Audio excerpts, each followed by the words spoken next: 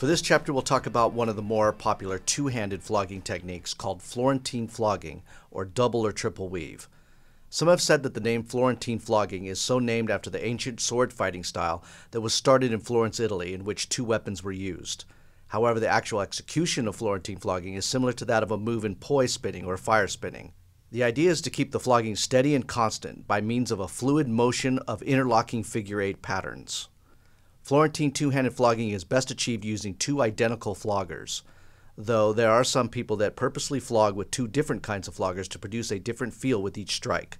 However, I suggest using two identical floggers to learn the Florentine. You can Florentine with just about any sort of flogger sets, from single tail whips to cat o' nine tails. I prefer a set of good leather floggers, about 34 tails, and I prefer deer as it has a lighter weight but can still deliver either a thud or a sting, depending on how vigorously you wield it. You should choose whichever leather you feel most comfortable with. However, I do suggest being wary of purchasing a flogger made of poor quality leather or imitation leather. Learn the difference between good leather and cheap leather. Make sure you are comfortable with the weight and the balance of your flogger. Make sure the handle feels comfortable in your grasp. Cut the tips of the falls to your preference, square, round, or angled. I prefer angle tips for Florentine, which works great when just teasing the skin before a strike. Learn your flogger well, practice often, before trying any sort of flogging session on a play partner. There are two common types of Florentine, called four point and six point. So named because it takes either four or six steps before the swinging pattern recycles. In a four-point Florentine, your dominant hand creates the figure eight pattern, keeping the strikes at an angle to your target. Your non-dominant hand also creates a figure eight pattern, but stays underneath the dominant hand at all times. In a four-point Florentine, the dominant hand always stays above the non-dominant hand. Whereas in a six-point Florentine, the two figure eights intertwine and the hands interchange, where your dominant hand takes turns with your non-dominant hand being on top. The wrists stay somewhat close together, keeping the motion as smooth as possible with a steady flow. Being that the Florentine is two interlocking figure eight patterns, it's important to first learn the two stroke figure eight pattern well, with each hand individually. First, practice making the figure eight pattern, which is really an elongated infinity sign. The figure eight creates an X pattern on your play partner so that the strikes hit on the downstroke from each side. The reason why we create the figure eight X pattern is so that when flogging a person's back, the strikes cross a person's spine rather than vertical strokes that can be dangerous on a person's spine. Vertical strikes can easily hit the top of the shoulders or the neck. Strikes that are delivered at an angle to the shoulder blades tend to be more accurate even when flogging other body parts, the figure eight motion allows you to strike true while keeping the strikes constant and steady. Before you can learn two-handed flogging, you need to make sure that you are proficient with this figure eight infinity pattern motion. Once you have mastered it with your dominant hand, you will then need to practice until you are proficient with your non-dominant hand. If you are right-handed, then your right hand is your dominant hand and your left hand is your non-dominant hand. It usually takes a great deal more practice to become proficient with your non-dominant hand. Once you feel comfortable with both hands, then you can begin to try to swing both hands simultaneously. Many say the best way to learn the Florentine is to count it out slowly, step by step, until the pattern repeats. The four point is the easiest one to learn and the easiest to master. Most tops only use the four point. A good way to learn the motion is to start off by practicing on the edge of a bed, the back of a couch, or a table such as this massage table that I'm using. Just something that catches the falls. The height should be a little lower than crotch height. Use some pillows to raise up the height if your bed is too low. First, with your dominant hand, create a figure eight pattern in the air. Only let the striking area land on the table, couch, or bed then your non-dominant hand. Practice this quite a bit until you feel that you can wield both floggers accurately and with ease onto the surface. In order to combine the two, start with both floggers to your non-dominant side, ready for your dominant hand to strike a backhand. Strike a backhand. Do this several times to get used to the strike so you remember where to start. Okay, let's start. Strike the backhand. This is your first step, step one. Let the flogger drop off the edge of the bed or table to your dominant side. Then follow the strike with your non-dominant hand. This is step two. While letting this also fall off the table to the dominant side, begin your overhand strike with your dominant hand. This is step three.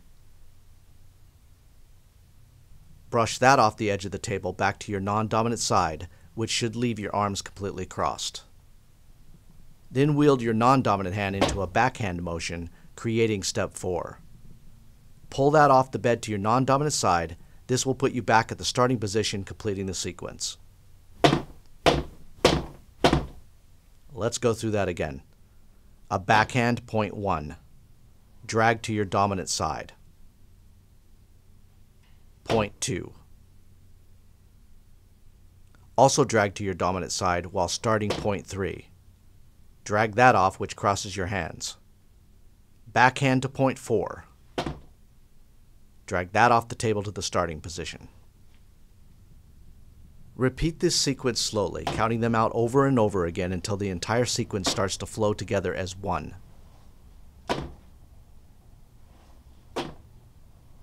One, two, three, four, one, two, three, four, one, two, three, four.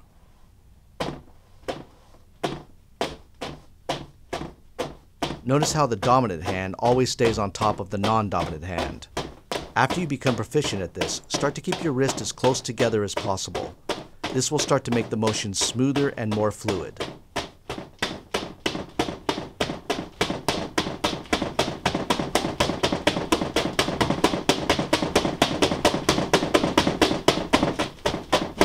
Here is the four-point Florentine slowed down.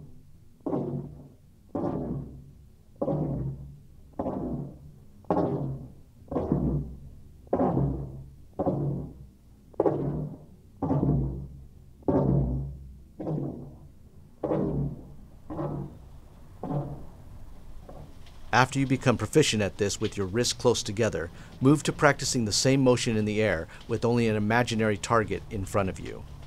Occasionally count the steps out, but also sometimes practice without counting, letting the steps meld together. Then start practicing at a target. You can tape a mark on the wall or create a practice target like I have on this pillow that I fastened with belts to a St. Andrew's cross. Practice keeping your strokes in a figure eight infinity, striking the target in an X pattern. You must practice this often until you are confident you can strike with accuracy. Then you can move to practicing on a person, having your submissive wear thick clothing or a heavy leather jacket. This is a good way to practice for the first time on a willing subject. I painted strike zones on my leather jacket to help with my practice. The white spots are good areas to strike, the pink areas are areas to avoid. Keep a watchful eye on the strikes from your non-dominant hand, making sure they land true. Then you can move up to executing the Florentine on human flesh. Try different intensities of strikes while keeping the Florentine going. The more often you practice this, the more continuous the sequence will become.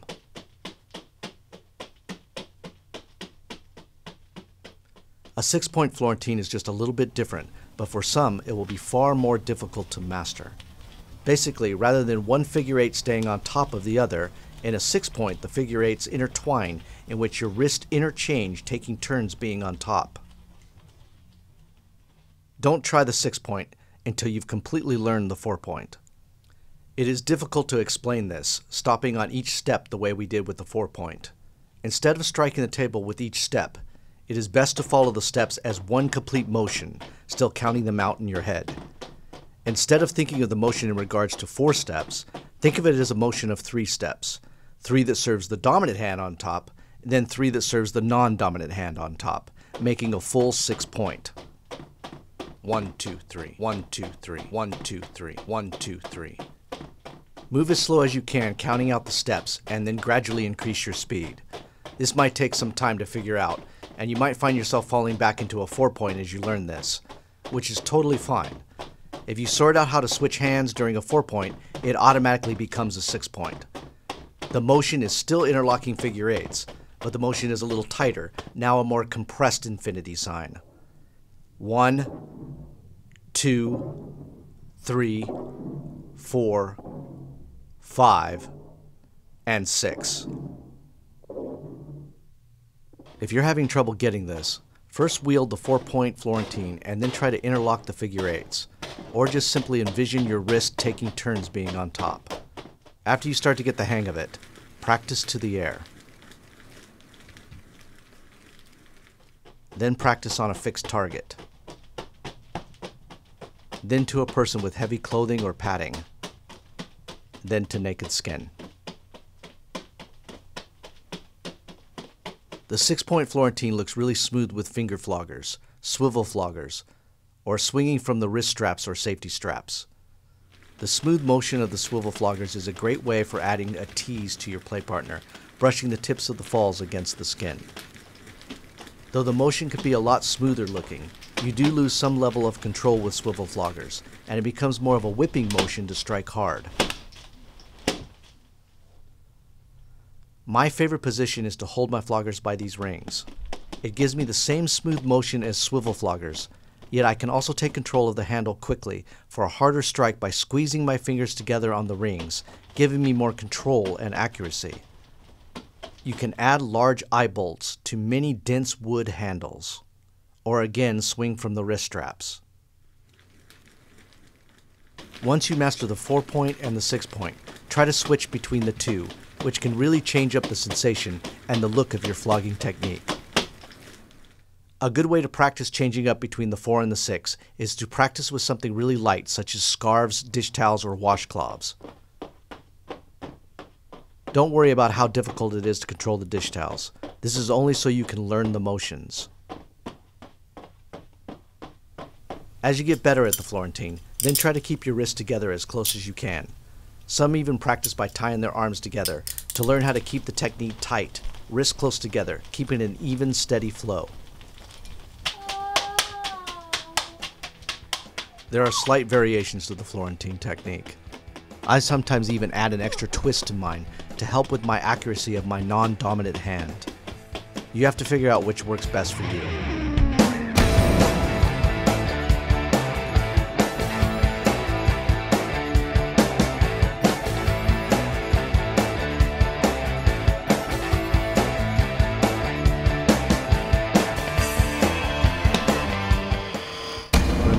Flogging is a dance between you and your partner. It's not a platform to show off how fancy your flogging technique is. The two-handed Florentine flogging is a great way to produce a steady flowing flagellation experience, but it can also be a sure way to draw the focus away from what is important in a scene. Keep your ego in check and keep your focus on your play partner. No matter which technique you choose or feel comfortable with, practice until you are sure you have accuracy to ensure the safety of the people you are playing with. You need to practice often and never stop practicing. Have fun, play safe. In the next chapter, we'll go over close range flogging, which is flogging while being up close to your target, using a flogger with much shorter falls.